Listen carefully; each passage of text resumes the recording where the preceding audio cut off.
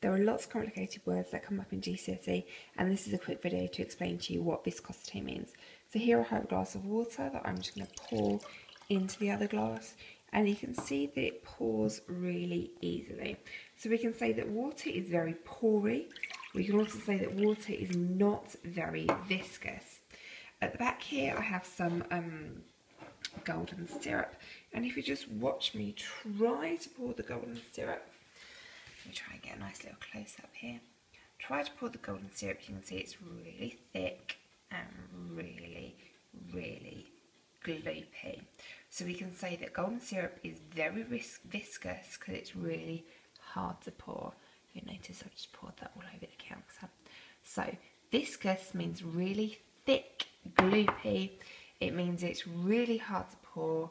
It means it's going to make a massive mess. Whereas water isn't very viscous because it's really easy to pour. So if we look inside there, we can see it's all sticking to the sides.